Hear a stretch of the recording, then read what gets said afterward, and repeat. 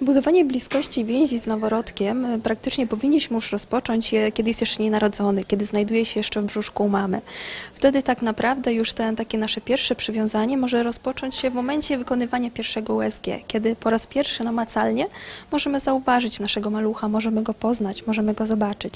Następnie możemy to rozpocząć poprzez chociażby nadanie dziecku imienia, e, poprzez dotykanie brzuszka, poprzez rozmawianie do tego brzuszka. Ma to bardzo duże znaczenie, ponieważ rozpoczynamy wtedy już tworzenie niezwykłej więzi emocjonalnej pomiędzy rodzicami a dzieckiem. Również po porodzie niezwykle ważny jest dotyk. E, Mówi o tym m.in. haptonomia, czyli nauka o dotyku, nauka o umacnianiu więzi, która umożliwia nam też na przykład stosowanie specjalnego masażu w okresie ciąży, ale późniejszego też masażu u dziecka, który właśnie e, dzięki właśnie tej nauce i dzięki dotykowi mówimy dziecku w pewien sposób o miłości rodzica, o budowaniu więzi, e, o tym szczególnym uczuciu, jakim, jakim darzy go rodzic.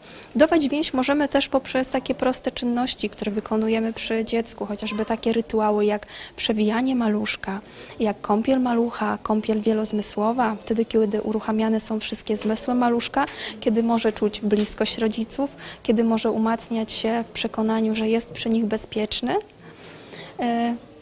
W jaki inny sposób możemy budować jeszcze tę więź? Po, na przykład po, poprzez kangurowanie maluszka, poprzez przez kontakt skóra do skóry. Kangurowanie i ten kontakt skóra do skóry daje dziecku bardzo dużo. Pomaga przede wszystkim umacniać więź z rodzicami. Poprawia też jego oddech, poprawia, stabilizuje jego akcję pracy serca, uspokaja go przede wszystkim i umacnia go w tym, że rodzice dzięki temu, że są blisko z nim, mają ten bezpośredni kontakt,